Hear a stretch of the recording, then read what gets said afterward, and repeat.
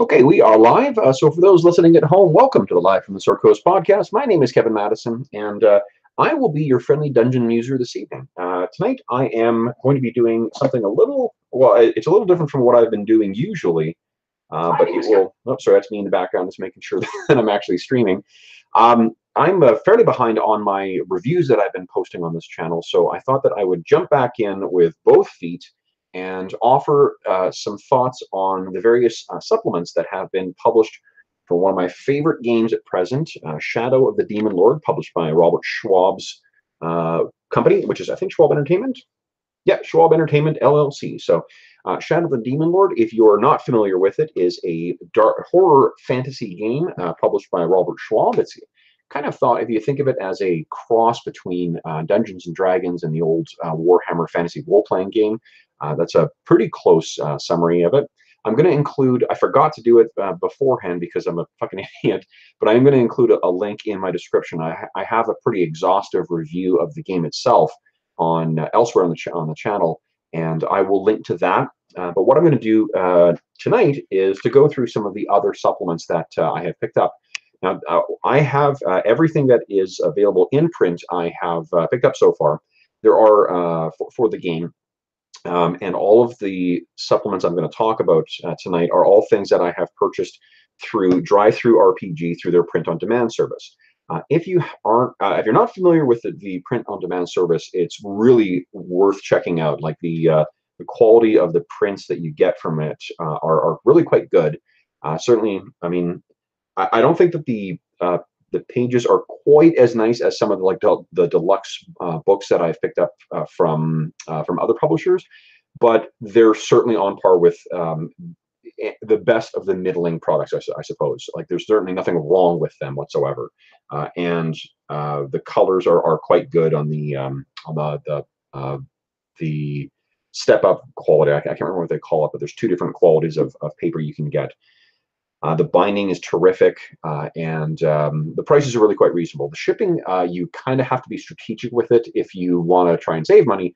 Um, I'm stupid with my money as far as uh, role-playing games go, so I tend to, as soon as it's available for print on demand, I will order it and uh, be damned to the uh, shipping prices. But um, in any event, if you're interested, as we I go through this, if you find that you're interested in checking out any of these games, you can find the print-on-demand service on the DriveThruRPG website if you go to Schwalb Entertainment's subpage or their store, whatever the hell they call it.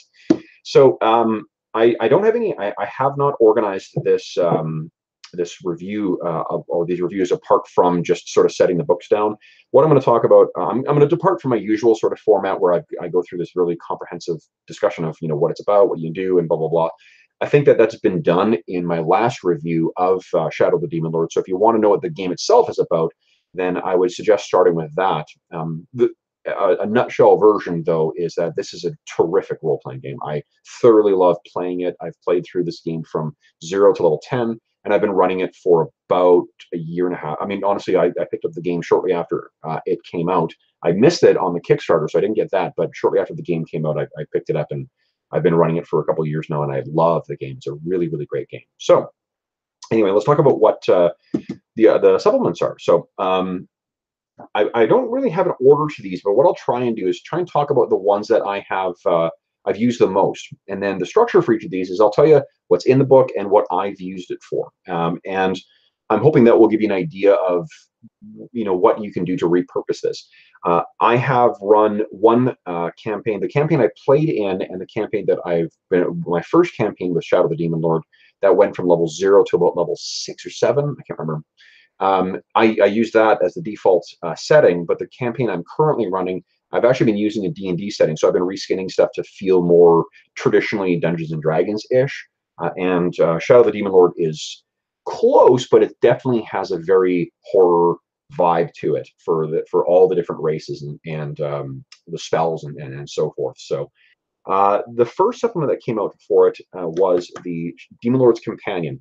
And one of the things that's really, this is sort of like a, um, if you're going to be taking a step into the wider products, I would suggest this as your first purchase because the material that's in this is the stuff that Robert Schwalb has said that he would have included in the core rulebook and he considers canon. Uh, canon in the sense that this is core material. Uh, I, I, honestly don't know why they didn't keep it in the core book. I mean, the core book itself has just a ton of stuff. It is one of the most rich and full single uh, role-playing game core books of, of any game I've ever seen. It's really terrific. And the Demon Lord's Companion carries on with that of cramming just a ton of really cool and useful stuff in it. The things that it includes are things like the uh, fawn. So in the Shadow of the Demon Lord world, uh, half elves effectively are like this. They're fawns, not um, you know effectively like kind of human-looking elves or elfish-looking humans. Uh, they add halflings in it. They add uh, a bunch of paths. Now, just as a refresher, if you're not familiar with Shadow of the Demon Lord or you're not super familiar with it, in the place of classes, Shadow of the Demon Lord uses something called paths. And you get to pick a path at uh, different levels. The game itself is structured from to play from level zero up to level 10. And then you make a decision for what your different paths are. At level one, you pick a novice path. At level three, you pick an expert path. And then at level seven, you pick a master path. Uh, and then uh, you also start the game by picking an ancestry. And ancestry is kind of what is considered races or referred to as races in a lot of other role-playing games. So your character ends up being this really interesting mix of the different elements that you're making into your, uh, you know, you're picking as you go through your character. And what this game does, or rather what this product does, is it adds a bunch of new, uh, really core expert paths. Uh, there's one Elementalist, which, to be honest, Elementalist doesn't really, you know, it's a it's a very elemental oriented caster, which is a signature thing in in a lot of fantasy role playing games. But I that particular path doesn't really float my boat. But uh, Mountebank, which is kind of like a uh, charlatan and liar. Mystic, which is the Shadow of the Demon Lord equivalent of a monk, which is really, really cool in play. A psychic, a sage, uh, a shaman, uh, swashbuckler, and I've seen a swashbuckler in play, and it's really quite cool. And a warden. A warden is really neat because it's effectively like the in fourth edition Dungeons and Dragons. They had a, a class called uh, I think it was called warden, which was like a tanking class, but it was more nature bent. Robert Schwalb, the, the author of this, he cut his teeth uh, on a lot of fourth edition Dungeons and Dragons stuff. So it's kind of cool to see some fourth edition elements that are in here. If you're more of a fifth edition D&D player, the Warden is the, um, I think it's the Oath of the Ancients uh, specialty for Paladins. It's the one that, that does a lot of like, you know, nature and stuff like that. But anyway, so the Warden's in there. So it adds you some interesting uh, new um, expert paths that are fairly, I think, fairly iconic in, as far as D&D goes uh, or at least fantasy role-playing goes. Uh, master paths include things like Alchemist, Blackguard, Corsair, Demonologist, entropist, Martial Artist, Medium, Psychokinetic, and a bunch of other ones. There's a bunch of great items that are added in here too, some cool uh, alchemical items, uh, forbidden items, and then some new potions. Uh, it gives you rules for using vehicles, which is, is pretty cool. And because Shadow the Demon Lord has a, a distinctly, um, not cyberpunk, There's no cybertech in this. There is, however, steampunk uh, stuff in it. You'll see rules in here for vehicles like locomotive engine or airship, or uh, actually, that's the only really fancy uh, steampunky stuff. And then otherwise, some signature uh, some fantasy things like wagon and sailing ship and so forth. And the magic section here adds some other.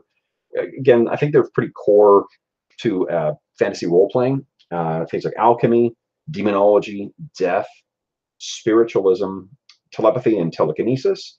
And uh, then it's got some extra rules for things called incantations. And incantations are kind of like uh, scrolls in uh, Dungeons and Dragons, where it's the like written, codified versions of uh, magical spells. Uh, then it gives you some new uh, game master tools. And there are some rules for hauntings, which is kind of like a watered down version of haunts from Pathfinder. Uh, they're not. I, I, actually haven't used them uh, because I don't. I don't find them super interesting. Uh, there is some neat rules for null magic in here and void shoals, which are sort of like where the demon lord from the void sort of like pushes through into reality. That's kind of neat. Uh, gives you a couple more relics, and relics are sort of the uh, Shadow of the Demon Lord equivalent of artifacts or really powerful magical items. So that's some good stuff to go from. There's not a lot of examples of it in the core book, so it's good to have a couple more examples in here. Uh, it expands the bestiary to include a couple other thing, uh, a couple other creatures that are again fairly you know signature to fantasy role playing, like centaurs, uh, brownies. There's a thing called a slime brute, which is kind of like a shambling mound.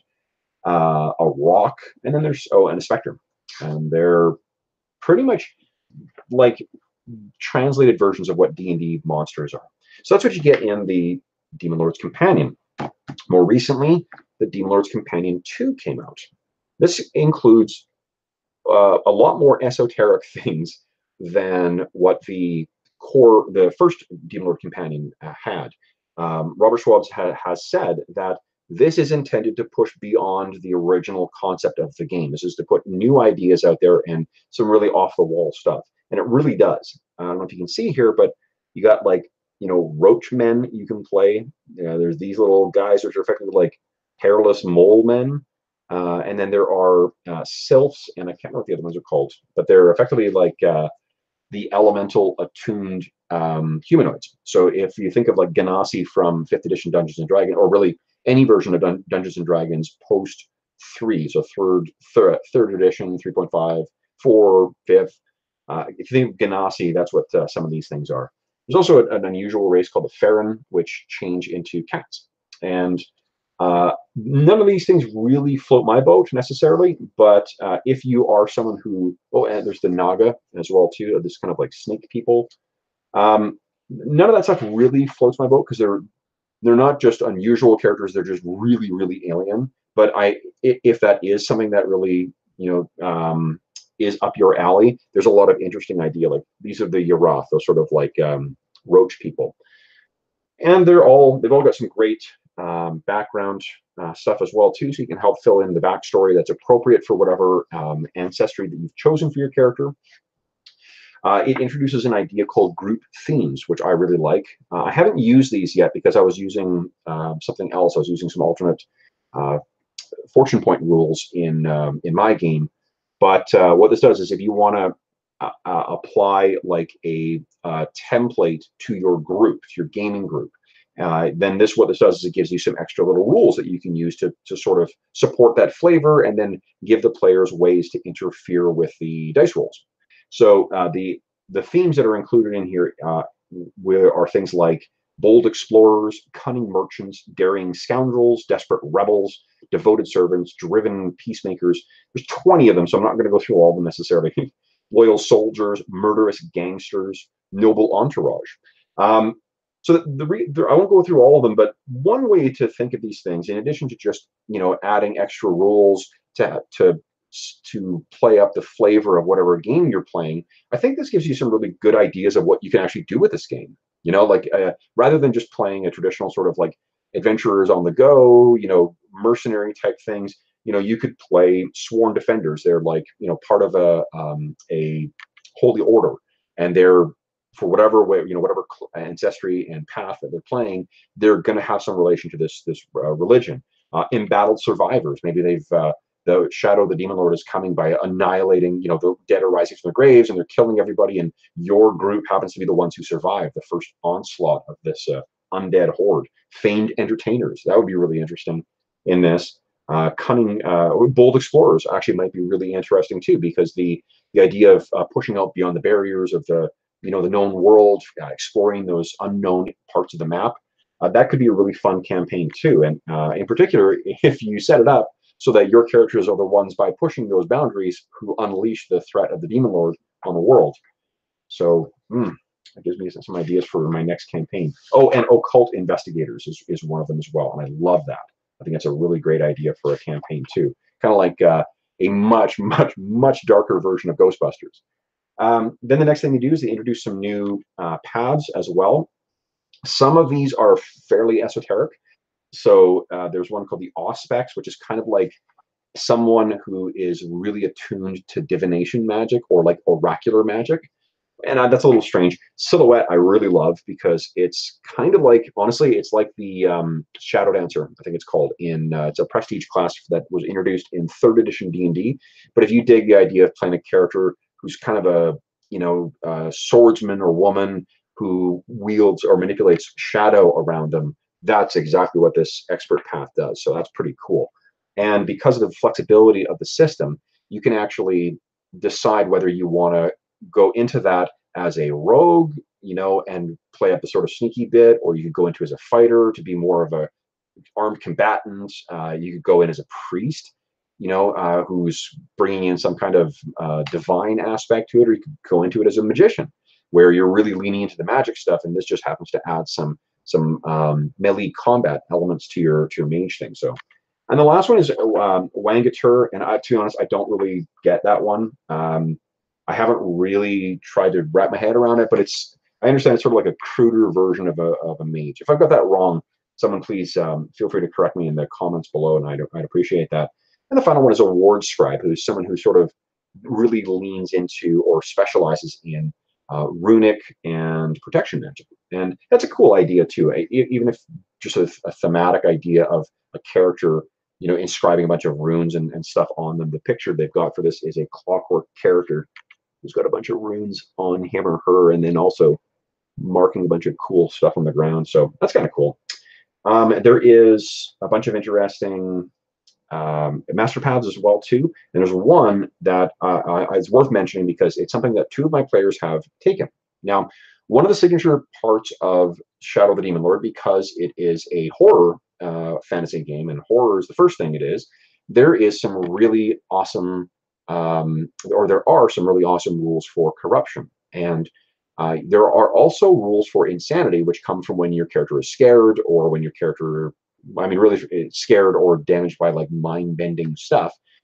Um, but insanity can be dealt with. Insanity can um, can be reduced uh, through spells, through uh, outbreaks of madness, and, and things like that. Corruption, generally speaking, does not go away. There's not a way of, of easily divesting yourself of corruption. There's nothing in the core book that tells you how you get rid of corruption.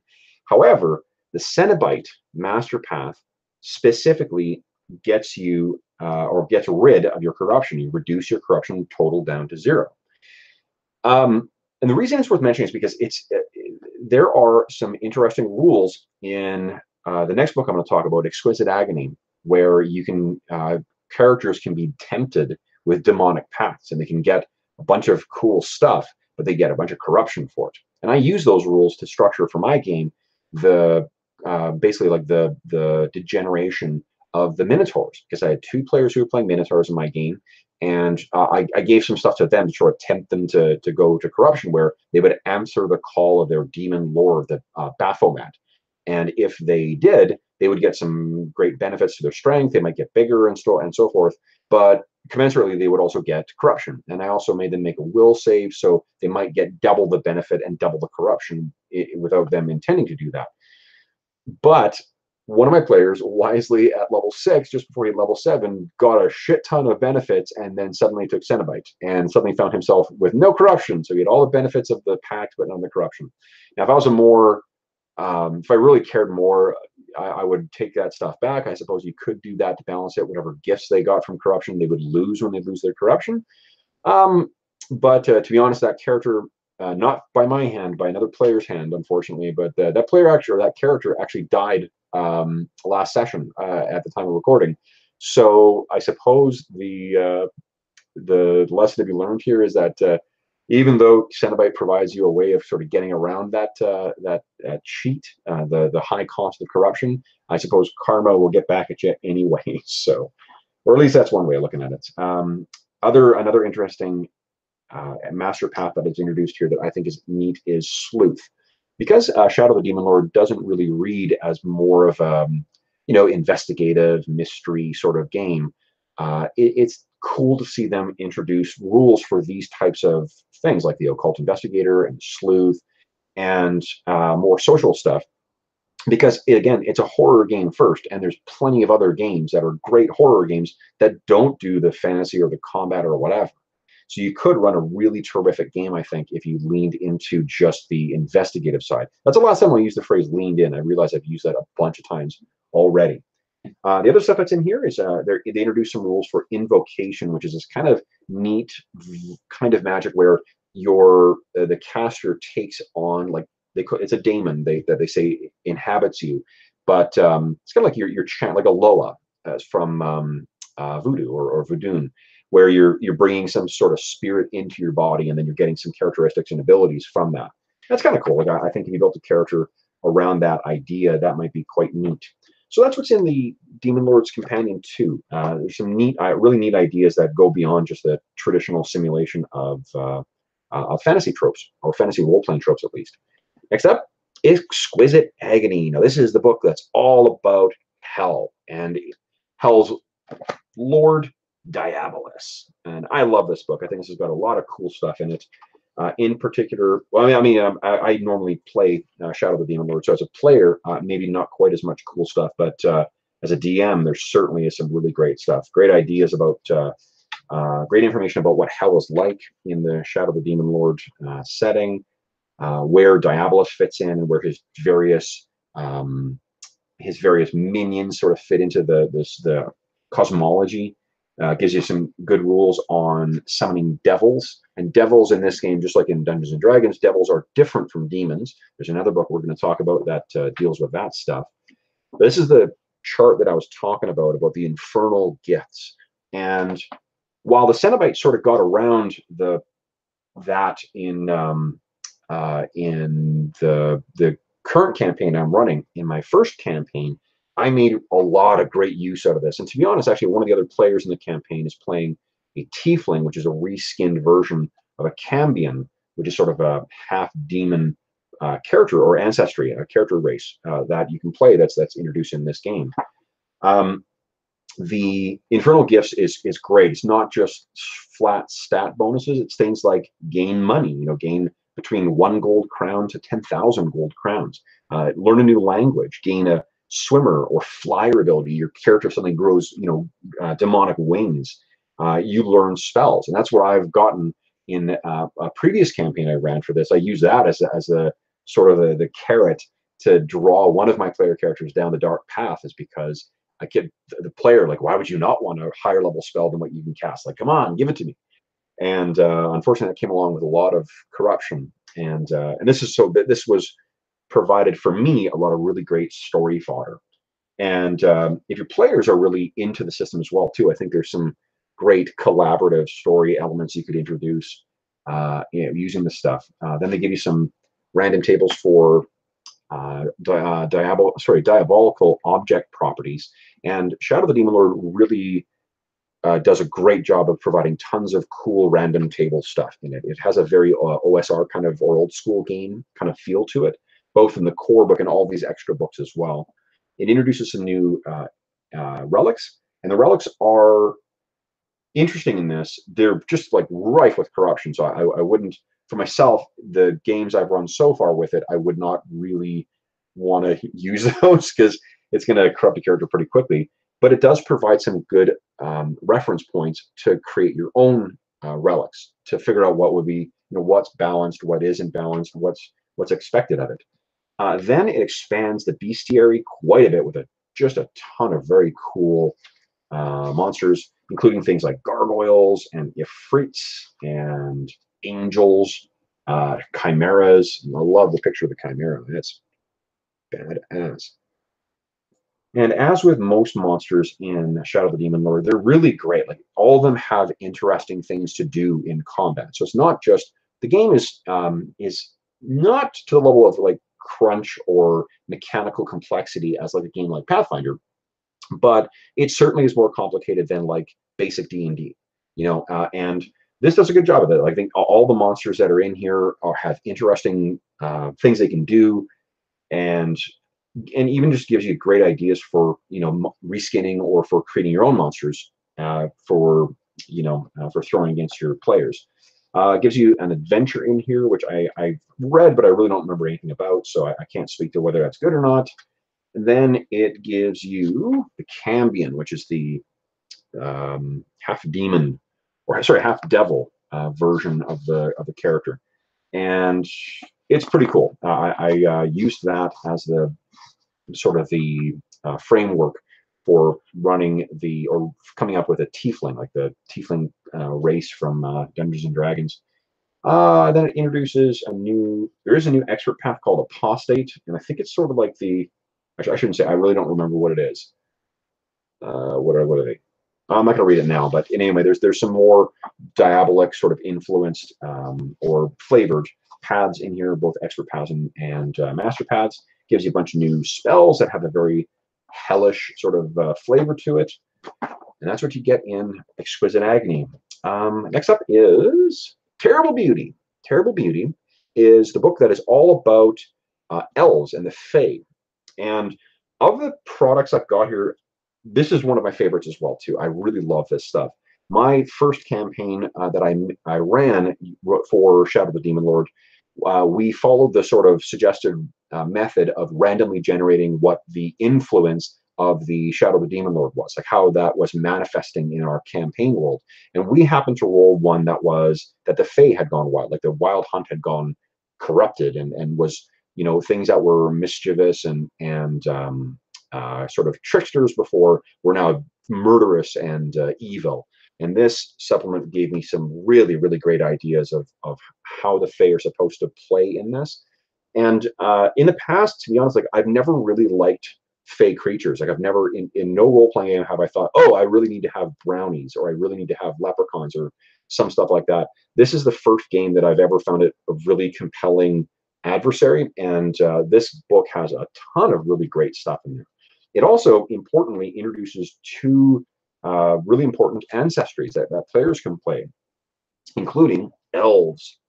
Now, elves in this are very different from your traditional Tolkien-esque sort of, you know, benevolent demigod type things. They are, or they can be uh, totally alien and um, they are really unusual. They all, they all have sort of a, a very fey, um, unnatural characteristic to them in the campaign that I played in, one of my fellow players played a horrifically alien character or uh, elf.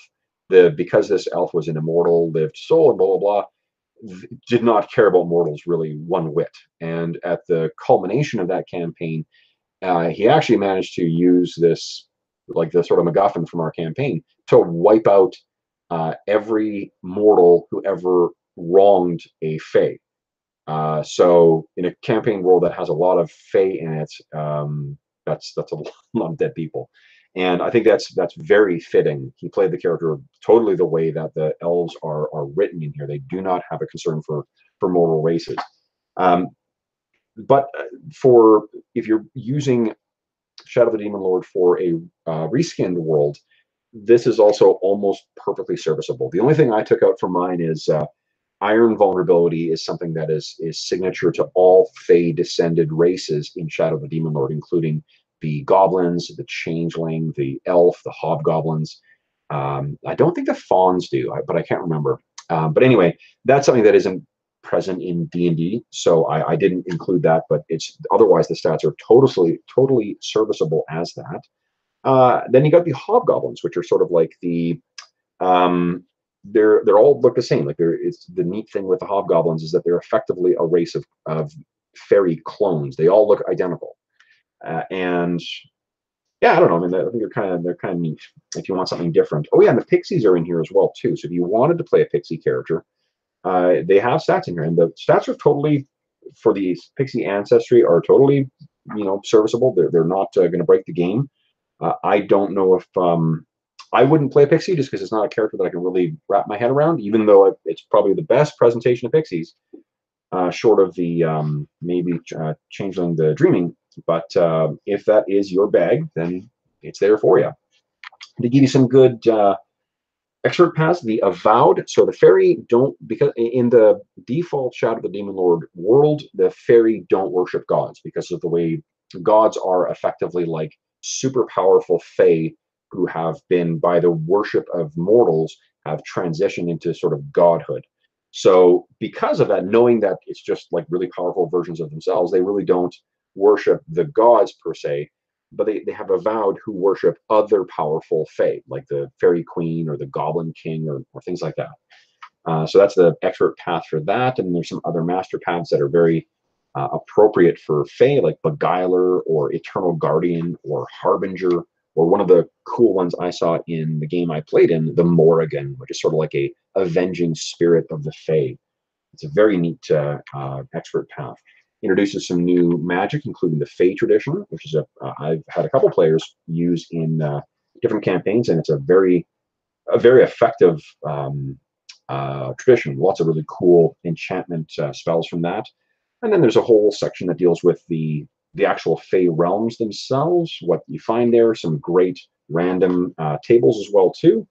Uh, and then you got your bestiary, which introduces a bunch of cool and interesting uh, Fey creatures, including things like the Banshee, uh, the Being Me, I may be pronouncing that wrong, some powerful elves, or elves in here, like the elf uh, knight errant, fauns, kobolds, and the Jabberwock, which is sort of like the most powerful creature that's in here. So the Jabberwock is in there, and then I love this picture too, the Merrow, but your your underwater uh, ogre type thing. I love that picture. I think it's super cool. I don't think I've actually used a Merrow yet, which means I need to incorporate one in my next campaign. And then, as with most of the sort of um, splat books for the different um, themes, there is another adventure at the end of this, and I really can't remember how good the adventure is or not. So, but it's in there. So if you need to spring, you know, uh, springboard your uh, imagination, they've, they've got that in there for you to pick up and, and run or reskin if you need. Next up is Uncertain Faith. This is the priest book. This is the priest splat book for uh, Shadow the Demon Lord. What it does is it expands the priest novice class into a bunch of different specialized ones for every one of the faiths that are in the Shadow of the Demon Lord setting. So uh, what this book does is it goes through and gives you extensive detail about all the different faiths and gods and uh, pantheons that occupy the Shadow of the Demon Lord world. And then it gives you new expert paths for each of the different gods, just like specialty priests kind of in uh, second edition Dungeons and Dragons. And these are great. Like they're really, uh, they the powers that you get from it, they feel balanced and they feel totally thematic. Uh, and then each of the sections gives you some great ideas for what the priesthoods are like, what their holy practices are, and things like that, or unholy, as the case may be. There's some interesting rules for the um, the interference of gods in your world, like the manifestation of divine presence or presences. I don't know if I got that correct, uh, plural. Uh, and there's a bunch of new spells that are in here, which are great. Uh, so, and they're not necessarily any one or another uh, tradition. They're they're from all over. Just like every one of these things, what they do, uh, there are a couple of these expansions or the splat books that uh, introduce brand new traditions. So you've got a whole new traditions to in mind. But a lot of these, what they just do is they just add a bunch of uh, spells to existing traditions. And the core rulebook, I think, has 330 spells in it. So there's a lot to choose from there. Uh, but there's just an, a, you know, an abundance of riches that you get from these um, supplements. And this introduces, again, a bunch of adversaries that you can add to your game. And then there is an adventure at the end. And this adventure, again, I, I don't really remember it. So I can't tell you whether it's a great one or not great one, but uh, most of them are, at the very least, what it provides you is an idea of what you know what the author thought you would do with the game world or with the material in the book and uh, how to balance the um, the adversaries uh, next up is another of my absolute favorites it's a glorious death now, this book is all about the far south where the Jotun, the Jotun are kind of like the small giants, like sort of like half giants maybe, or like small size uh, frost giants from uh, D&D. Uh, and I love this book because the character that I played from level 0 to level 10 was a Jotun. And I just loved him and I loved playing him. And I'll tell you, one of the reasons why I really loved it is because the way that the Shadow of the Demon Lord game uh, reinforces the idea of size in, uh, in, in a mechanical basis is by you know if you're bigger and you're trying to force your strength on someone else in addition to likely having a higher strength which is going to be added to your d20 roll you also get an advantage. You get or an advantage you get a boon on your roll so you're always going to be more likely to succeed against something that's smaller than you. And that's just great. I mean, it, it, it, gives a nice little mechanical oomph. Every time my guy tried to toss around some smaller human or, you know, elf or whatever, it, it was almost always a guarantee that he, you know, wahoo, they go flying over. So that's really great. It's also neat because the Jotun are one of the few, uh, like, powerful ancestries where it subsumes the role that an expert path would do. So you don't end up picking an expert path. You end up picking your ancestry, which will give you stuff at levels uh, 0, uh, 1, 2, what is it? Uh, not your expert, I'm sorry, your novice path. It replaces the novice path. So you one, two, four, and six. Uh, so you end up getting a bunch of uh, things from your ancestry. But even then, you get some options to, to customize it. Like if you're playing a character who's more of a martial Jotun, at some of those levels, you'll be able to pick weapon-related stuff. Uh, if you are playing more of a caster type, you'll be able to pick a spell, which is what you normally would get at the equivalent level in your novice path. So even though it is a very powerful ancestry, and I'll let you see that really great picture of the Jotun there, uh, it uh, it still gives you a, a great deal of um, opportunity to, to customize your character. This one introduces some new paths that are very thematic for the uh, Jotun, including the Juggernaut, which is just basically an unstoppable uh, powerhouse, uh, the Cryomancer, the Seer, and the Skald. Actually, Skald, sorry, Skald is a master path, and so is Seer. I actually played a Skald. My guy ended up being a Skald, so he was a sort of like I picked um, Ranger as my expert path, and then I picked uh, Skald. So sort of like a I, I joked that he was like a dark version of Tom Bombadil, uh, but uh, Skald has a very Nordic kind of uh, flavor to it, so that's cool. And then Warrior Spirit as well as a master path.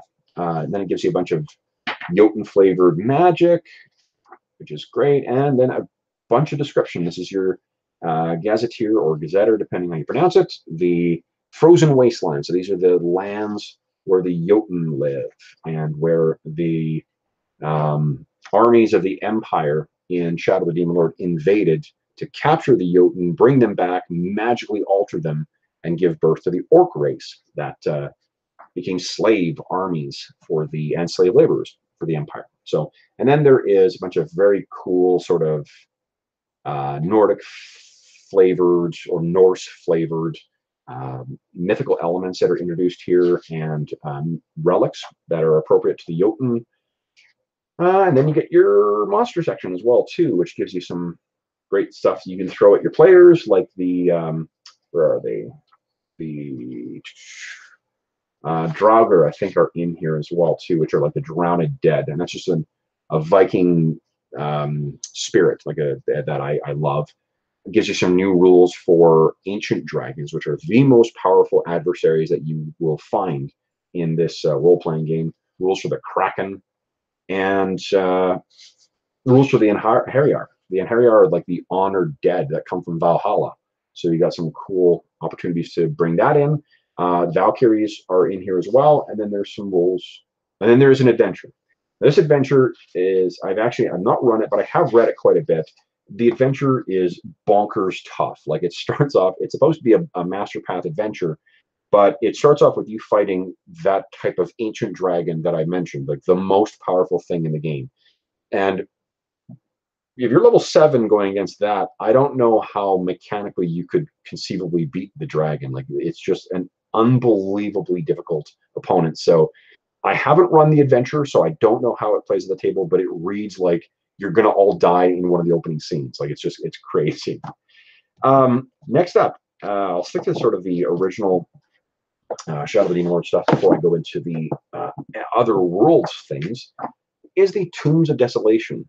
And the Tomb of the Desolation is sort of like the undead book for Shadow the Demon Lord.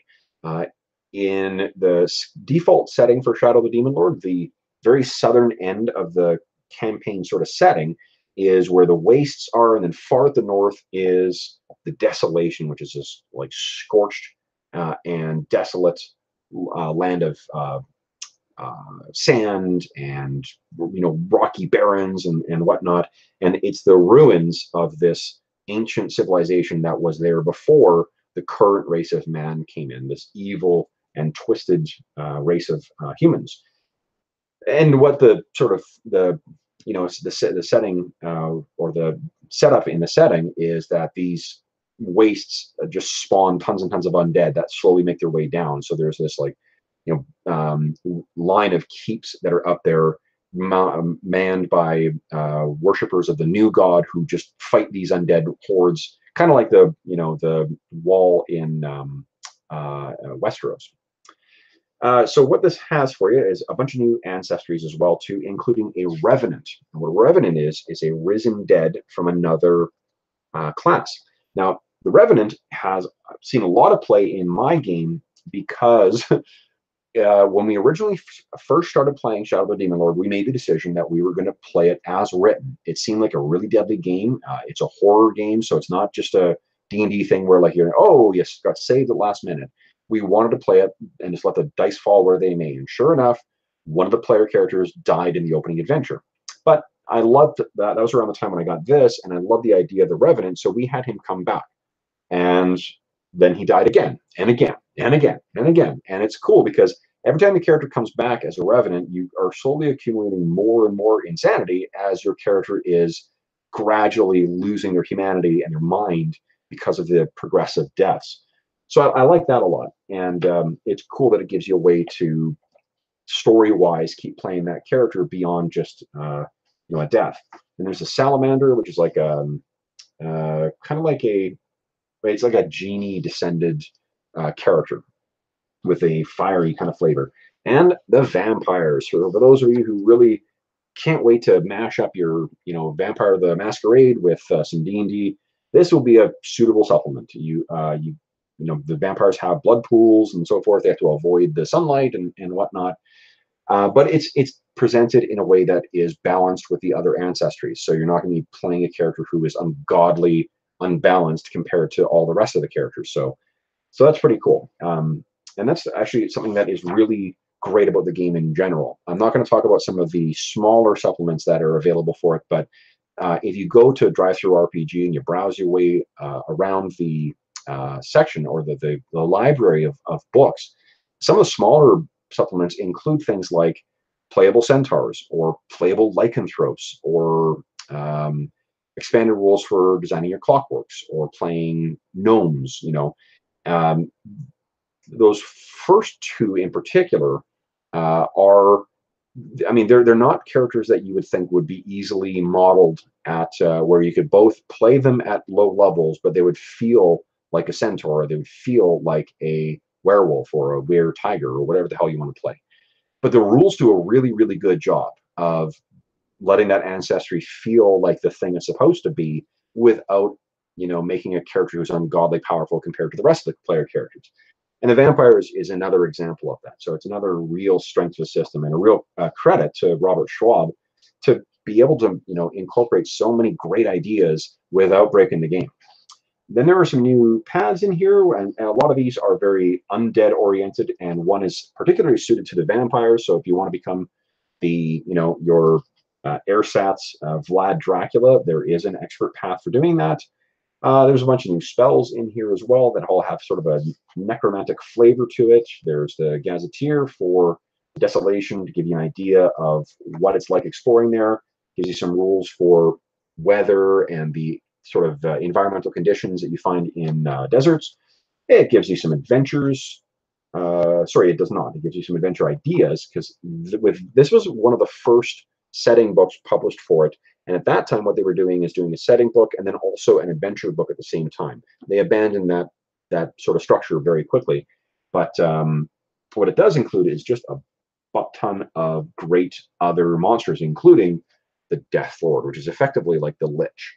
And I have fought one of these in the game, and they fucking suck. like they are so dangerous and they're so scary to fight uh, that it's just awesome. It, it's one of the most terrifying combat encounters I've ever had in any role playing game, and uh, it was great. Like it, it's a real it's a credit to my my dungeon master as well too, my buddy Jared Rasher. Uh, so hi Jared if you're listening, uh, but it's also um, mechanically a really great adversary.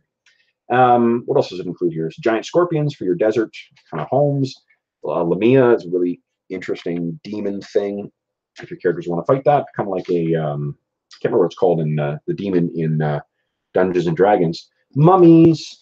What else is in here? Severed hands, skeletal steeds, and a whisper cactus. So if you want an enemy cactus, this is absolutely the book for you. And then at the end, there is another adventure, which involves exploring a pyramid. And as with the other adventures, I really can't speak to the quality of it, so forgive me.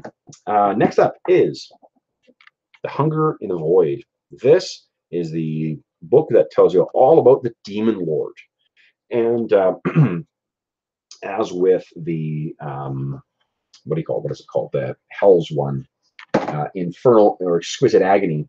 This one provides just a ton of great information about the Demon Lord. So uh, some additional ways to sort of expand on the shadow of the demon lord like the ways that the demon lord's presence manifests in your campaign world gives you a bunch of extra ideas and options for that. And like check that out. That is that does not look good. If you really want to lean more heavily into sort of cosmic and uh, body horror stuff for your shadow of the demon lord game tons of great stuff for that in here.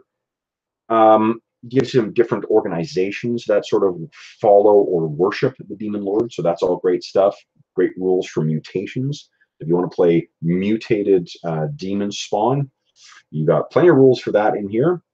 Then there's your bestiary, which is a little more expanded in here because there's a little more information about the different adversaries in here. Like this first section deals with cults of the of the demon lord or different cults, and then it gives you some stats to work from as well.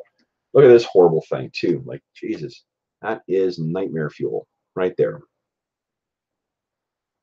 And so there's plenty of horrific things if you really want to play up that.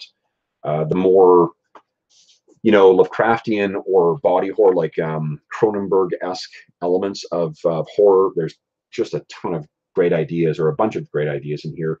New magic uh, for either you or the adversaries to use great expanded rules on the Beastmen. In this cam uh, campaign setting, the Beastmen are another of the uh, followers of the Demon Lord, and this gives you some uh, a ton of new Beastmen to throw at your adverse at your um, uh, players, uh, and then it gives you some. I mean, I don't know.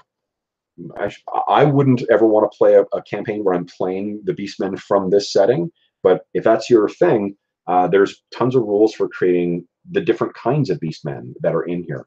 And one handy thing with these is that you can very easily reskin these things to make them other kinds of um, other ancestries that you would find in other fantasy games. So for instance, I used the Warg, which are kind of like the Jackal Men or like Gnoll type character, uh, uh, Beastmen. I used that as the rough stat for my Minotaurs uh, because when I converted my fourth edition D&D campaign over to Shadow of the Demon Lord, I use that as the as the um, the guide point to how to how to you know stat that out. Um, but you can play things like bugbears, and I love the bugbear in this. That is the bugbear. They're these terrifying things that steal and eat children. So they're just fucking horrible. They look. I love how. Oh, my camera's not working with me. Uh, so this is one of my favorite illustrations in the game. There he is. Look at that. Those red eyes. Oh dang. I need to throw a bugbear in my game, next game. Um, then there are expanded rules on demons. So a bunch of different ways to make the demons feel more unique. And if you're not familiar with the Shadow of the Demon Lord core book, the core book already has a shit ton of ways to make the, each demon feel very, very unique, both mechanically and also like its slate of abilities and slate of spells, uh, and how it looks. Then there are expanded rules for creating demons and uh, this like goes right down to the like the, the basic form of the demon. So does it have carapace? Is it centauroid? Is it a, a crawler? Is it a geometric, excuse me, shape? Is it a polyp? Is it a um, serpentine thing? So you know you can randomly generate some really trippy looking things with a full slate of different abilities that it can access. Like look at that. That's random tables you can do to put together your your uh, your own custom you know weirdo thing to throw at your at your allies. And I will give a shout out as well too that there are a bunch of I can't remember what they call them, but a bunch of the smaller supplements for Shadow the Demon Lord uh, in, basically are very much things like this, but for different kinds of monsters. So like there's one that's on dragons that's really awesome. Uh, and gives rules for like you know draconic races and uh, drakes as well as dragons. So it's useful at all different levels of play. Uh, there's a similar one on monsters as well too. That's, that's sort of you know if you want to make stats for like griffins or hippogriffs or whatever, those stats are in the core book. But if you want to customize them yourself, some of those smaller, cheaper supplements give you a ton of great things to work from uh, as well. Then we go into the demon princes, who are sort of like the uh, uh, the generals for the demon lord, and like there's more very very atmospheric art. Look at the little people down there performing or um, praying to this uh, hideous thing. And then there are Secrets of the Void, and this is where they sort of start introducing what's out there in the void and one of the first interesting things they introduce is a very modern day looking guy floating away in this bubble here with jeans that are all torn and a cigarette or cigar in his, uh, in his mouth. And they talk about how this could be structured or connected with other worlds. And uh, that's a uh, that's a cool way of, of introducing an idea of a multiverse. And the next supplement is one of those multiversal places you can go. This is Godless. Now, this is, I, am hoping at the time of recording, I'm hoping this is only the first of these types of products we're going to see. But this is effectively like if you want to play Shadow the Demon Lord in kind of a Mad Max or like post-apocalyptic or um, is it Enter the Badlands? I don't remember what. There's an AMC show that that is is a sort of post-apocalyptic thing too. This is the supplement that lets you do that stuff. It's it's very much like kind of like a much much darker version of Gamma World. Um, it's not quite as as uh, sci-fi-ish as what Gamma World is because the idea is is that the shadow of the demon lord has fallen on a modern world, and I think the recommendation, if I recall, is that you use your own hometown as the as the setting for this. But everything that's in here is very much keyed towards making characters like how to modify the basic rules to play in that setting. I'm not going to talk about the setting too much, just because to be honest, it doesn't really grab me. Like if I wanted to run something like this, I, I, there are probably other games that I would prefer to use for it, like uh, Mutant Zero or, or something, something that is really designed to simulate that uh, and play up that like survival kind of element. But what there is in here that I really love is lots of great rules for um, for modern day stuff. So you know, firearms, um, vehicles. There's some great rules like craft bullet that are in here too. Some good new uh, master paths, including gunslinger, and some fun uh, expert paths like raider or preacher or road warrior, which are really neat. Uh, bunch of new modern day weapons. So like that runs the gamut from a grenade launcher to a machine gun to pistol, revolver, stuff like that. That's all good. Um, rules for like explosives are in here, laser sights, uh, and then some modern day gear, and then a good selection of vehicles in here as well, which I really like. So that runs from like a dirt bike to a helicopter to an interceptor to a limousine to a sports car. And there are rules for customizing your vehicles as well too, for giving them extras or add-ons. And uh, so if you really want to make, you know, some very Mad Maxian kind of stuff, there are great rules for that in here. The rules for vehicle combat that they include in here, I believe, are duplicates from the companion. And to be honest, it um, I haven't used them as written because they feel a little too mechanical. Like there's, you know, you're sort of tracking like the turn radius and, and stuff like that. And um, it's a little more detail than I really want to have in my exciting chase stuff. But the game is still because the, the raw the mechanic that that uh, comes with the game is so easily changed and and you know modified to whatever you want it that it's very very easily to, very easy to just use those stats and uh, and run it in a more narrative way if you want to. Uh, and there are also this is something also I really like. There are rules for um, different uses of firearms, so like um, burst fire, full auto fire, double tap, which I think is is cool because I mean the um, firearms that are in the uh, core book are not particularly advanced, so you really wouldn't be you know fan of the hammers or stuff like that. But the material that's in here gives you more than enough stuff to play like say a Deadlands type game, but using Shadow the Demon Lord, which is awesome. Like that would be a great great game. Um, I can. All, I've also used this as the um, some of the fundamentals, not the fundamental, some of the uh, primary source that I was using when I was trying to convert uh, the Iron Gods adventure path from Pathfinder. It's a very science fantasy kind of thing, and there's tons and tons of material in here that's really helpful for that too. I also used in my campaign when one player ended up having his uh, character die. I wanted to give him something very, very different and very unique. So uh, one of his characters was actually a magician from a modern day world who ended up getting sucked through to because of story uh, to this um, to the the default setting for Shadow of the Demon Lord Earth, the URTH, and he had a magical Dodge Challenger or Charger. I don't remember which one it was. I'm not a car guy. So um, some kind of really cool looking muscle car that could travel through, you know, uh, it could like effectively teleport across long distances. So it had that kind of like DeLorean from Back to the Future feel to it. He had a six shooter that was uh, on him, and uh, it all felt very balanced. Like the character did not feel like uh, overpowered or whatever. So again, it's a it's a real credit to uh, Mr. Schwalb that he introduced a bunch of really great modern day or uh, you know post-apocalyptic kind of ideas, but it still all works within the same system. And then there's a whole section on how to destroy your world for some of the threats that you would see in a post-apocalyptic world, like radiation, and um, how you change some of the elements of the Shadow of the Demon Lord setting, like the hidden kingdoms. Hidden kingdoms are effectively kind of like you know demi planes in uh, Dungeons and Dragons. Uh, and then some relics from the post-apocalyptic world, like the Savage Boomerang. If you're a big fan of um, Mad Max uh, or whatever the second one is, World Warrior. I don't remember. And then there are some new adversaries, including giant killer roaches with shotguns, which is very cool. Uh, I haven't used these guys yet, the inheritors, but I, I kind of like them. And then, yeah, just a, a, bunch of other things you might find in the, um, you know, in the waste, like cyborgs or mutants or, or whatever.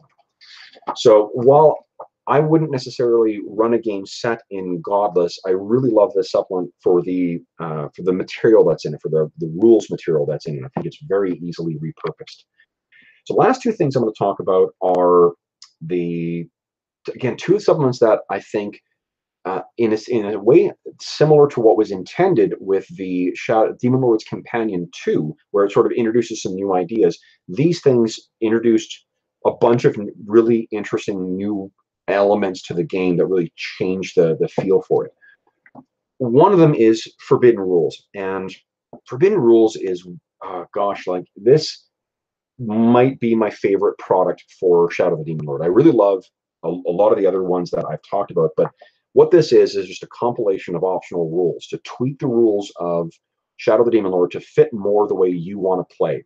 And while the, the rules as written are terrific, it's great to have these nice little options to tweak the uh, the rules. Um, so these things include things like changing over to like 3d6 instead of using 1d20. If you really want to see a you know predictable uh, probability curve with your game, you can do that. Um, there's information in here as to why you shouldn't do that or why it uh, leans, it, it doesn't um, fit quite with what the uh, design aesthetic of the game is, but uh, it, it's still completely supported. Optional rules for critical uh, critical success and critical failure. The game at default does not have uh, rules for you know default rules for when everybody rolls a 20 or when everybody rolls a 1. Uh, there are introduced rules for fortune points, and fortune points are or sorry, new rules for fortune points. Fortune points in Shadow the Demon Lord are kind of like hero points or action points or you know inspiration from uh, D&D 5th. They're the things that uh, the players can use to interfere or to um, modify the vagaries of the dice rolls. And this gives you some great other options that I use in my game now. I, I play my Shadow of the Demon Lord game more of a you know pulpy kind of adventure thing rather than a strict like realistic horror kind of uh, you know I don't know horror game the way that the the default game plays. So some of the options in here like you know healing damage or acting on someone else's turn or turning a success into failure or of this isn't an option that's in here or avoiding death you know i use i let my players use that uh, as a way of getting around it because the game can be very very lethal in particular if they make poor tactical choices sometimes, like you know the mage or the spellcaster running forward. So that's some great stuff. There's rules for using damage reducing armor. If you don't like the idea of um, defense being effectively like an armor class kind of thing, there's rules for, changing that. There are rules for uh, some optional damage rules for like instead if you don't like the idea of just people stacking up a bunch of uh, hit point damage effectively and then you know finally going down. There's rules for running the game differently. Uh, there are expanded rules for social combat, and I love these. Uh, I think these are great. Uh, if you want to have, you want to make a like mini game out of some of your social interactions. This is a way to you know expand that into more of a game than just like one dice roll or you know whatever or, or two dice rolls or contested rolls. Um, there's options for changing combat in here, and this is abstract combat. So, oh, there's new actions in here as well too that I really love. Uh, there's one in particular, uh, goad, which is basically like you're taunting one uh, adversary to attack you, and they'll get a boon when they attack you, but they'll get a bane if they attack anybody else. I think that's the way it works. Yeah, that's right.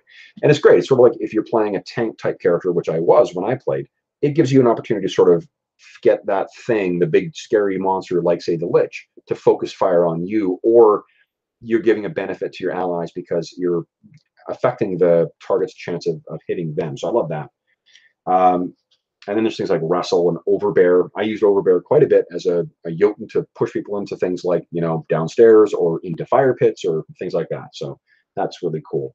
There's the abstracted combat. And I've actually, I when I played Shadow of the Demon Lord, and since I've been running it the last year or so, I use this. You, it's sort of, to be honest, it's very similar to the abstracted um, range stuff that I see in Conan, in Modiphius's Conan game.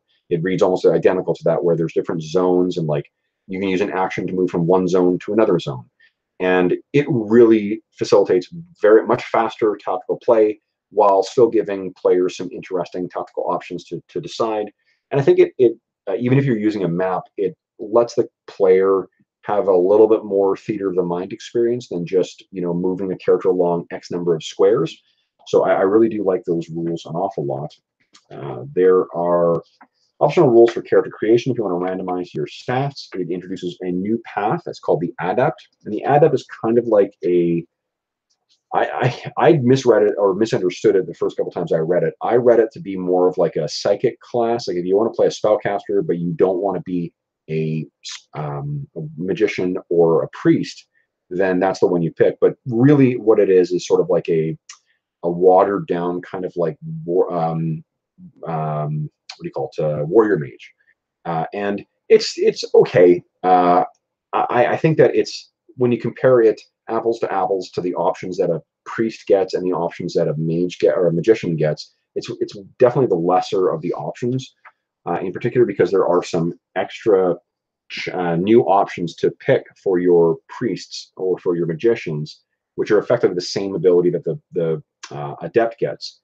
Um, now, just so you know, the one thing they get in this is that when uh, basically almost every other novice class gets some ability at a very low level, one or two, to be able to add a boon to their attack rolls. Um, the warriors get this as combat prowess, I think it's called. The um, rogues get this as trickery, and the priests get it as um, inspiration. I think it's called. I can't, I can't remember. There's an ability where basically it's, they help your god. Their god helps you hit more often. The magician was the only class that didn't have that feature. So the the adept gets something like that at level two. It's called potent spellcasting. But then the optional rules let you swap out what a priest or what a magician gets at that level for this ability. So if you're using an optional ability, if your real concern is that I'm not getting a boon on my attack roll, whereas the the adept does, you can get that as a magician and still get all the other benefits that you get as a magician it's not useless. Like I, I, there's one player who uh, in my current campaign has been playing an adept, and it's okay, but the I don't know. I, I don't think it's a it, it, when compared to the other options for novice uh, paths, it's, it's not quite as uh, doesn't hold up as well. There are rules then for simplified weapons, uh, and then one of my favorite rules, which is uh, power points. Now, one of the uh, things that I had mentioned in my review was that I, I, didn't like in the default rules the way that you know how many spells you can cast per day is that it you know it's a function of what uh, rank your power stat is. Your power is like how you know potent of a spellcaster you are. You look in that and then you compare it on a chart and it tells you how many times you can cast each of the spells you know per day. So you would track each individual spell how many times you can cast it per day which to me felt like very much like the kind of uh, Vancian like memorization stuff. So I really wanted to have a, ma- a mana fuel thing that gave more flexibility, and that's what the system is, and it's great. The thing I ignored because I'm a fucking dummy, and I well, not I'm a dummy, I'm a know-it-all. So I thought, man, I don't need that thing. Is that there's a limit on casting that is included with this optional rules, and what it is is that you can for each of your spells, you can only cast a number of spells of a certain rank equal to one plus the number of spells you've learned at that rank. So if you've got a rank four spell, which is a really powerful spell, like that's like a rank or a level eight spell in D and D, really potent, almost end game spell. You only if you only know one of those, you can only cast that twice. If you only know two of them, you can only cast them three times. I have not been applying that restriction. So what I'm saying is my players are just spamming their most powerful spell over and over and over because some of the, uh, in particular, the wizard expert path just gives you an ungodly amount of mana. And to give you a sense of, of what it is, to cast one of the spells, it costs them an amount of mana equal to the rank of the spell plus one. That's the, the optional rules here for PowerPoints. I call it mana, but same thing. The so to cast a max level spell, a fifth level spell only costs you six mana. My player who has a seventh level uh, magician wizard has over a hundred power points. And then I also foolishly at lower levels introduced an optional rule so they could use healing potions to help restore mana. Healing potions are super fucking cheap, and even restoring a quarter of their mana still is a huge benefit. So basically, what my player could do is squeeze out, you know, with 100 plus mana, at least 100 mana, he can cast his highest ranked spell, so the equivalent of like, you know, rank, uh, level 9 spells from D&D. Uh, they're not quite that powerful, to be honest. I mean, like magic doesn't get quite that that crazy in this, but even then, fifth level spells, he could uh, drink a healing potion and suddenly get uh, four more uses out of that spell. So if you elect to use these optional rules, which I think are really great, I would highly recommend that you do not do what I do and follow the recommendation for limits on the number of times you can uh, cast them per day. So uh, that, that is something uh, I would, um, yeah, maybe read it and, and apply it uh, and don't do what I did. Um, anyway, then what you get is a bunch of modifies uh, modifications for the different uh, expert paths for how that um, for all the spellcasting ones that that are modified or that modify the amount of spells you have it gives you how that works in the context of the uh, PowerPoint system. Uh, then it expands on downtime quite a bit, which are, is really great. And then it gives you some um, rules to work from for playing the game beyond 10th level. Now, from what I've read online, this is not what when we do finally get official rules for playing, you know, levels 11 to whatever, this is probably not what they're going to look like because uh, it sounds like uh, now I haven't read anything directly from Robert Schwalb, so I don't know if that's that's accurate. But what everyone else uh, I've read, they seem to suggest that uh, Mr. Schwalb is going to be walking us uh, walking us away from this kind of idea. But if you're playing the game and you love playing the game, and it's a great game, like I really cannot say enough good things about Shadow of the Demon Lord. If you hit level 10 and you don't want to stop playing those characters, there's some terrific rules in here for for continuing on.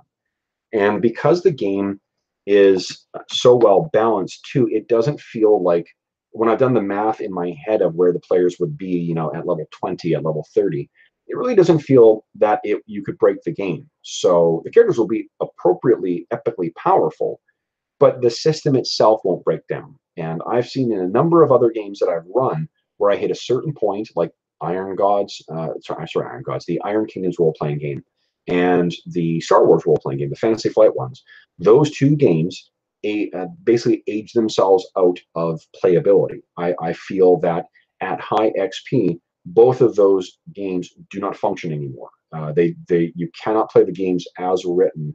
You have to start changing the rules, fudging things, and so forth to make it work. Still, that does not seem to be the case with this game. So that's a, a um, uh, I mean another reason why I think this is a a really, really, really great supplement. There's just so much terrific stuff. And like, look at the size of this thing too. There's, it's such a slim volume. There's so much great stuff in there. So if, um, yeah, I mean, I think that if what you, as an initial product, I said at the outset of this review, as an initial first step beyond the core rulebook, that the Demon Lord's Companion is a really, really good option. I would suggest that this might be, if you really want to, you know, tweak the way the game plays, this is a great second purchase. And I think it's quite cheap as well, too, relatively speaking. Um, the final book I want to talk about is something that was kickstarted. It was, I think, the last Kickstarter we saw for Shadow the Demon Lord, and that is the Freeport Companion. Now, I have, have not been particularly familiar with Freeport. I've been aware of Freeport since the first adventure came out, whatever it was, Death in Freeport or something in Freeport. I don't know. Um, but it never really, you know, uh, it never really caught my eye in comparison to the, you know, the other things that were available. I was never really that. I didn't care about a, playing a pirate, you know, city thing. But it has, you know, endured for a long, long time. It was the first uh, adventure path that was published for third edition D&D as part of the open game license. Uh, Robert Schwalb has worked on uh, uh, Freeport as well, which um, if he finds it cool, then maybe I need to take a closer look. But what this is, is basically all the rules you need to play in Freeport with Shadow the Demon Lord. Uh, this supplement places the city of Freeport into this, the framework or the setting of Shadow the Demon Lord. But um, you're if you like the idea instead of playing, you know, the whatever wherever you've set Freeport elsewhere, you can um, you can just do that. And they give you rules for modifying things like like or modifying the rules to incorporate things like half elves or D and D style elves elves rather than the sort of you know um, the Shadow of the Demon Lord style ones.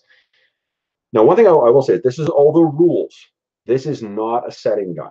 If you want to play uh, in Freeport and you want to set your game there, then you're going to need to pick up something else as well, which, one second here, let me show you.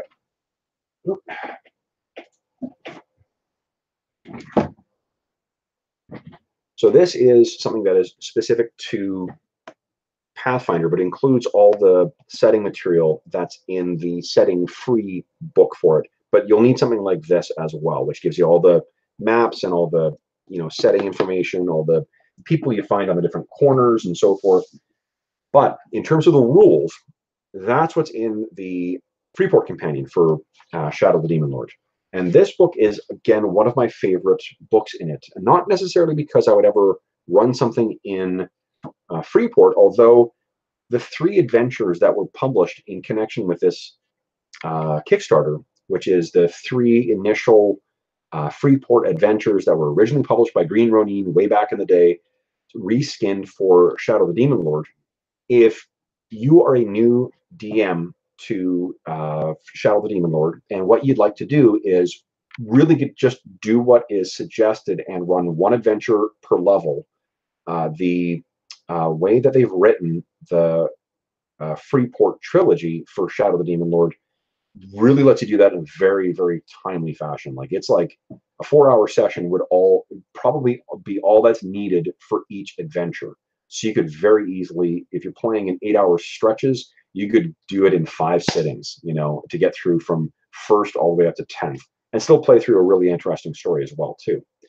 So um, I, am not going to talk more about those adventures because I haven't run them yet, and I prefer to see how they play at the table before I give you any comment on those particular uh, adventures, but that's something else that you can get with this. But even if you're not interested in running those, if you're not interested in, in running your own custom uh, campaign set in the uh, in uh, Freeport, what you find in here is just a, again like a ton of great, easily reskinned information. Um, some of the the ancestries that are in here include the Serpent People, the Undines, which I think are awesome. Like, look at that. That's very cool if you want to play your underwater dudes. Uh, I love this as well too. That's a great image or illustration. Um, and then it gives you a very expanded version of the background tables that you see in the core book. And these are spe uh, specified towards uh, Freeport. So but what they also have is there are a bunch of other supplements that have been published. Again, smaller ones that are available on PDF only, where they've expanded the way that your professions work. Now, if you're familiar with uh, Shadow the Demon Lord, forgive me for repeating something, but if you're not familiar, the way that you create your, your character is you randomly generate your professions. Uh, you'll get two professions, and then sometimes your ancestry will give you a, an, another one. In the core book, that's all you get. You just get your your profession, and that's presumed to be what you were doing before the adventure or the campaign started. But what those smaller supplements have done, and what they've incorporated in here too, is that you also get some little bit of gear to to fit with whatever your profession is. You don't have to go out and buy the stuff as well, because and the reason that I think is important is because when you generate your like your income level to start with. You, you generate your, I can't remember if it's called class or societal tier or whatever, but it's how much money you start with. If you're playing a character who is, say, you know, he's got the profession hunter, but you start impoverished, uh, you can't afford your bow and your arrow and, and whatnot. Now, there, that, you know, you may just look at that and say, okay, well, I've, uh, I'm a hunter who fall, fell on hard times. That's cool, and that's a, that's a neat kind of uh, story point to start, but it also probably would be kind of cool if your hunter had a you know bow and arrow. And that's what they do in here. Is in this version, you also get extra stuff. So if you're playing a burglar or a grave robber, you start with a set of lockpicks. If you're playing a, a murderer, you get a garrote. If you're playing a member of the watch, you start with a lantern and a flask of oil. Now, this is not the only thing you get. You also get, you know, your your whatever money you get from your uh, your income, you know, uh, tier. Um, but it's it's it's a great uh, it's a great extra little bit of of stuff you get when you're randomly generating your professions, and I really like that. And again, these ones are specifically fit for uh, Freeport. So even if you're playing in a campaign with a bunch of people who just do not know Freeport at all, this helps them get that by you know when they're randomly generating their characters. This helps them get into that mindset very very quickly, and uh, you know, because they, they can tell like, oh, I'm actually a street preacher. Uh, so, you know, you'll then look to whatever the uh, the rig gods are for Freeport and, and go from there, or uh, what's an, a distinctly uh, Freeport kind of thing, a Sea Lord's Guard. So if your character, or rather your player, rolls that, well, then you're going to want to know what the hell's a Sea Lord, you know? So it, it sort of propels them into the, the setting, I think, uh, if they're unfamiliar with it. Then next up, we got some uh, expert paths, and some of these are very Freeport oriented. Like the celebrant is sort of like a drunken, you know, uh, worshiper of this kind of booze god. But then there's other great stuff like courtier. Courtier is a very social oriented class. Like it, it really relies on the social combat components or the social combat rules that are in the Shadow of the Demon Lord core book that really don't see a lot of mechanical play in other expert paths. So I really like that they've expanded the game to include that. I mentioned earlier in this review that the uh, the idea for the occult investigators. Well, a courtier would probably be a really handy expert path to pursue if that's what you're going to go. I mean, again, very uh, Freeport oriented thing, the drowned one. But then you got the mariner. So whatever your wherever your campaign is set, if you want to play a, a sailor, this is the expert path for you. So that's that's again pretty cool. And because of the way that the mixing and matching can be done between the novice path and the expert path, your mariner might be a magician, or it might be a warrior, or it might be a rogue. And then you've got some great master paths, many of which are very uh, specific to uh, Freeport, but then there's also a ton of very generic ones, like the musketeer. You want to play someone who's really great with uh, rifles? Absolutely. How about a pit fighter or a sea captain? or just a survivor, someone who can take them beatings and, and take them. Uh, then there is a very interesting uh, section that expands the magic. And the reason I say interesting uh, is because this tries, is one of the first products I've seen that really tries to take some of the stuff that is very D&D and make it uh, Shadow the Demon Lord. So if you want to play a, a game that has more of those sensibilities of kind of a traditional fantasy role playing game versus the horror fantasy that Shadow of the Demon Lord is, this has a lot of really great ideas for for how to incorporate that, or a lot of spells that can help play up that flavor. Uh, then there is some new equipment in here, uh, much of which is uh, very uh, Freeport oriented, but all very interesting anyway. Uh, a bunch of new rules on vessels. Uh, then there are rules for aquatic adventures, including swimming and a crap ton of different ships. So check it out. There are your basic stats for a bunch of different ships, and then you can specialize them as well. Great rules for sailing and for ship-to-ship -ship combat. So if you want to play an actual pirate campaign out on the waters, this is great stuff. If you want to play a Viking-style campaign, if you want to play Jotun, who are raiding up and down the coast of uh, the Empire, these are the rules that'll help you do that. Uh, then they give you great rules for siege engines, which I don't think we've seen in anything to date, so that, that's pretty great. Actually, that's not true. I think the Demon Lord's Companion has some rules, uh, basic rules for um, for the uh, siege engines, but that's more stuff. Then there are a bunch of relics that are introduced. And remember, the relics are kind of like the artifacts in Shadow of the Demon Lord. And the reason I, I again I really like this is that these relics are taken from a D&D product. So a product that's written for D&D with D&D sensibilities, these are the ways that they translate those uh, items into Shadow of the Demon Lord rules. And I found this to be the most useful thing for coming up with more D&D flavored uh, items in my campaign that was set in a D&D style world. So these can be perfectly used in a horror fantasy game that is where you're running uh, Shadow of the Demon Lord as written with a flavor that's intended in the core book.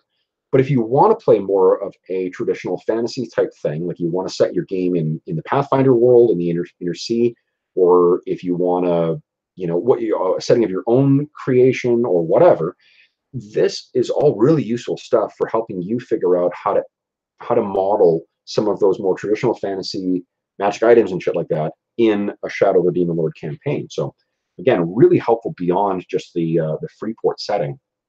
Then we've got a really great section full of a bunch of uh, enemies, so our adversaries, and many of these are reskinned versions of the NPCs that are that were originally written for D&D or for Pathfinder.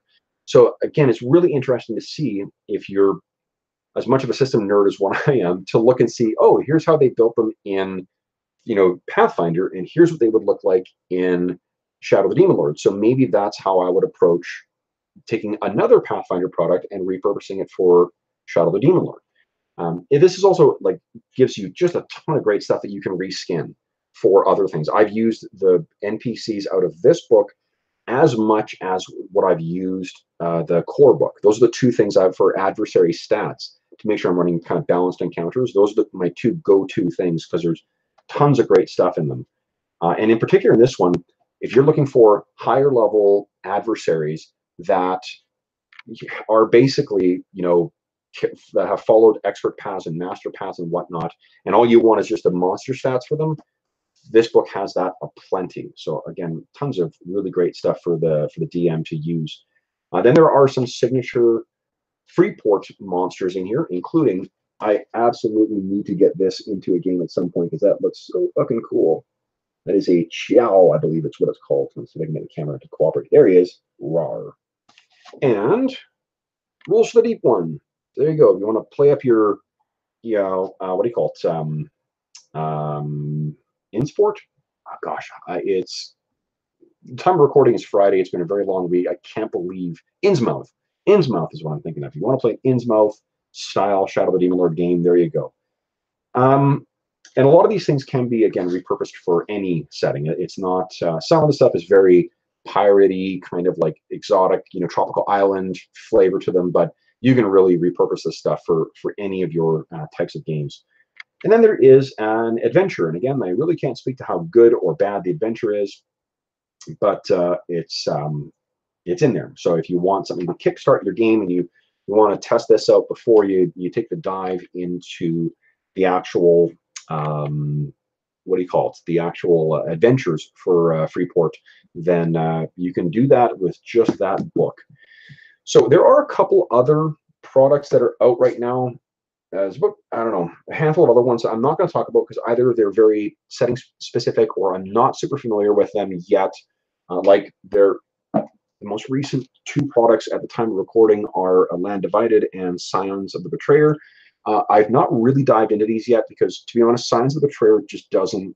Uh, I'm going to pick it up because I'm a completist. It's not really going to probably see a lot of use, but if you're into like dark and evil Fae, uh, in particular using them as player characters or adversaries in your campaign. This has got some great stuff, and probably if I was still running that other Shadow of the Demon Lord campaign, this would have some useful things in it. You may notice that these more like digest sized books are a lot smaller than the other books. This seems to be the format that they're going for right now.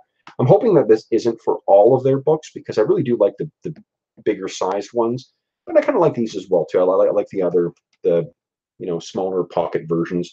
What Land Divided is, is one of their setting books. There are uh, available. This is the first one that's actually been, um, and by setting, I mean just where it's just strictly, this is a nation that's in the Shadow of the Demon Lord setting.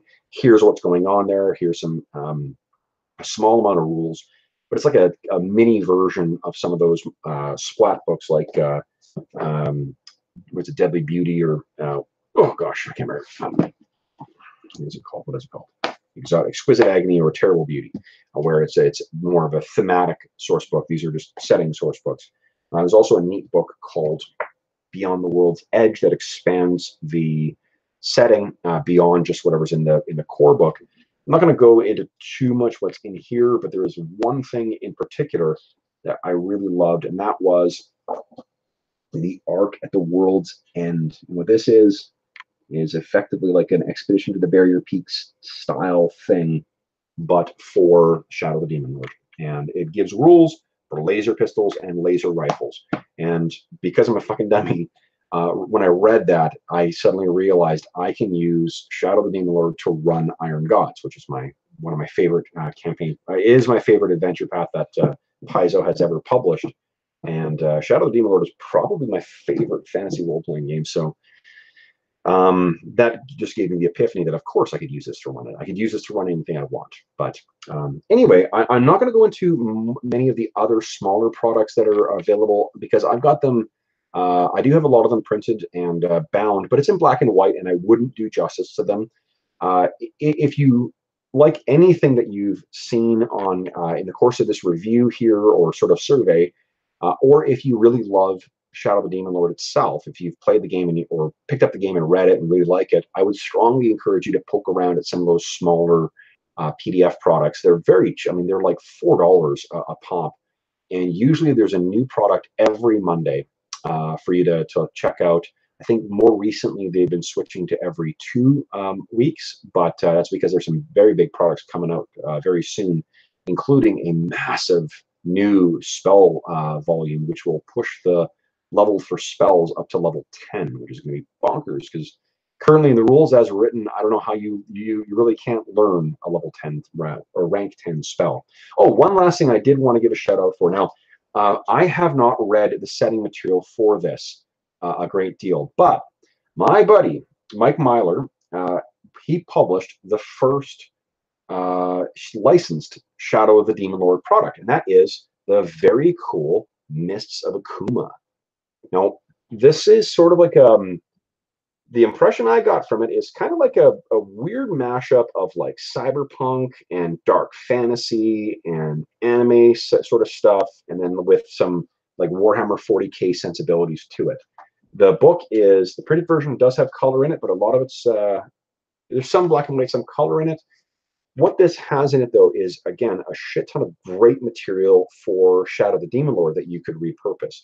If you, if your characters or your players are, you know, um, more inclined towards something more exotic, and and they're sort of thinking, well, what's there really that's uh, unique about Shadow the Demon Lord that I could play? Well, if you pick up Mike's product here, you could play like a cyborg ninja or a cyborg samurai and it would be perfectly balanced with everything else that you would find in all of the other products. Uh, this book has a bunch of interesting new spells that have kind of a Asian sort of flavor to it. There's a ton of great new uh, expert paths in it, including the, uh, well, actually, first of all, let's talk about the ancestries, because there's a crap ton of great new ancestries in here as well, too. Some of which are just really good representations of traditional sort of um, Asian, uh, I, uh, you know, concepts like uh, a spirit folk or a Korobokuru, like the um, uh, Asian uh, dwarf uh, that is one of the playable races from the original, um, what do you call it, Oriental Adventures. Then if you want to play like a monkey person, you got your Enji in there. You can play a Hengeyokai, who's a like a spirit animal person. you can play a Kappa, the um, sort of reptilian type that uh, uh, have little bowls of water on their on their heads. Play a mutant from the wastes. You could play a necroji. Hey Kev, can I play a cyborg undead thing? Yep, I, I have rules for that in Mike's badass Mists of the Akuma. Uh, there are uh, Oni Touch, which is sort of like a, uh, a tiefling. Uh, there is the Sonorous, which I don't remember what they are. I think they're like psychic kind of god things. Pion, which is a little toad dude, uh, and the Steamatic, which is a variant on the uh, Clockwork from the core book, a Tanuki. So there you go. I'm going to play a raccoon cat that, that is there for you. Tengu, so the um, sort of um, what do you call them? The swordmaster sort of raven uh, folk from a lot of uh, uh, I think I think it's a Japanese uh, character. Then there are some neat things called ancestral blessings, and what these are is another layer of template that goes on top of your character in a similar way to, or rather, that goes into sort of the heady brew that is your character, where you're picking your ancestry and your novice path and your expert path. These uh, often have a, uh, or at least are written to be a very sort of Asian flavor to them, but it's very easy to reskin this stuff and just use it however you want. If you want to play more of a super-powered uh, campaign, this is probably what you could use to, to do that. If you want to play more of a, you know, high-powered um, uh, fantasy type game. Uh, there's a bunch of interesting uh, equipment in there. And then where are my expert paths? Where is it here? Uh, there's a crap ton of adversaries in here as well. Just bear with me one moment because I, I do want to mention the uh, the very interesting expert paths that are in here as well. There we go, one 152. Forgive me for wasting airtime looking stuff up, but here we go. So the other options are things like Bushibot, which is a cyborg um, samurai, which is pretty badass. An herbalist, a kami guide, which I, I believe is like a, a spirit something similar to the, the shaman, uh, a martial artist, which is, uh, I think, a really neat thing that gives you some uh, custom ways of specializing your character. So every martial artists will not feel the same, and uh, that's in uh, it's different from the mystic as well too. So it gives it more of a kung fu flavor rather than a mystic key, you know, point kind of flavor. There are the ninjas, and there's the private eye expert path, which I love because it if I'm wanting to play my occult investigators, I've got one player in my uh, campaign, or rather in my uh, gaming group, who will always jump at playing the magical detective type character. Well, the thing is, in Shadow of the Demon Lord using Mists of Akuma, he can literally play a magician private eye, so he's playing a magic detective. So I think that's pretty cool. Then there are just the regular traditional samurai, the uh, shinobi bots. If you want to play a ninja robot, that is in there tattooed monk, which has a very you know uh, Legend of the Five Rings kind of uh, flavor to it, and the Wuxian, which is uh, I think very uh, takes a lot of the flavoring from the uh, second edition D and D, or rather a first edition D and D Oriental Adventures uh, class. Mike, if I have that wrong, please feel free to correct me in the comments. Now, there's also in this book there is a crap ton of great um, setting material as well too that I'm not going to get into in the course of this review. I do owe Mike a full comprehensive review of this later, but I want to actually take this thing out for a spin before I uh, do that. You may notice as well that this sucker is beautiful hardcover. That is um, one of the options you've got with print on, on demand for Mists of Akuma. So again, this is just like the other books, a print on demand book, but it's just, it's a really great, sturdy, but very light um, print version with, with really great colors uh, in it as well. So anyway, um, that is my very brief tour of uh, sort of what is available so far. I haven't gone through some of the print adventures that are out for it either. I've got uh, Tales of the Demon Lord, Tales of the Desolation, and then the uh, trilogy of uh, uh, Freeport Adventures, and the Queen of the Black Coast, I believe it's called. No, what is it called? Queen of the something or other. It is a uh, another adventure path that takes you from level zero to level 10. And I guess that's the other thing I should maybe mention. I, am not going to review them just yet, but if you're if you got the core book and you don't want to go into the splat books just yet, you want to take it out for a spin and see how the game plays. Tales of the Demon Lord is something that will take your characters from level zero to level 10. Uh, whatever that Queen Black, whatever the Queen of the Pirate Isles, I think maybe that's what it's called. Queen of the something or other. There's another adventure path that is one book that takes you from zero to 10. Uh, it has more of a travel feel to it. And then there's the Freeport ones, and the Freeport Adventures is three of them, but they're smaller and they're cheaper, I believe, than the uh, the other two. It takes your characters from zero to ten in a very quick way, and um, and you do it in a very interesting, you know, uh, pirate flavored setting. I can't say whether or not you need the Freeport companion to play through those adventures or not.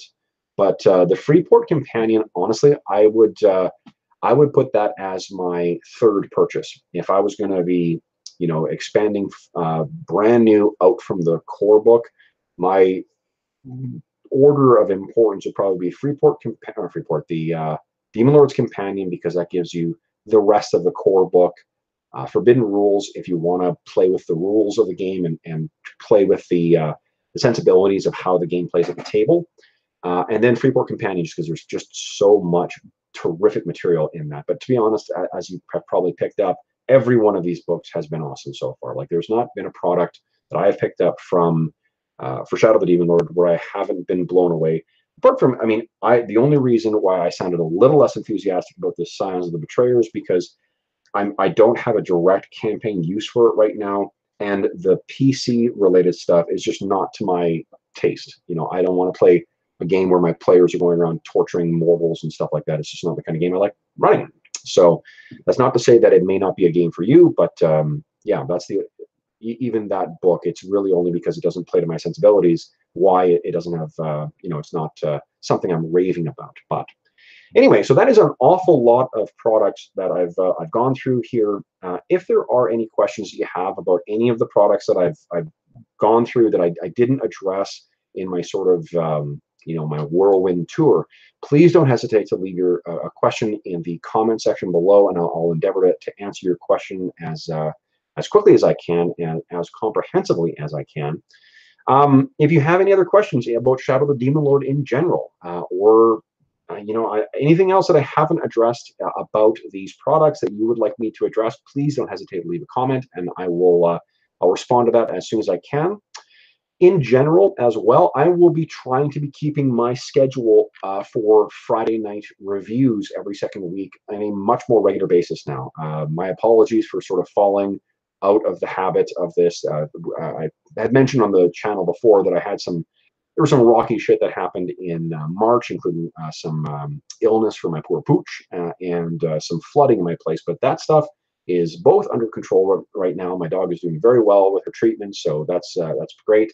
And uh, the place is almost uh, back to uh, the same as it always is. So uh, expect many more reviews to be coming in the near future. Otherwise, thank you so much for listening. Uh, I, I, greatly appreciate any comments that anyone will have as well. If you have any comments, criticisms, or concerns regarding this review, or survey, uh, again, please don't hesitate to leave a comment in the comment section below. Otherwise, I hope you all have a terrific Friday evening. Have a great weekend, and I will see you again, hopefully, very, very soon. So thanks, folks. Have a great weekend.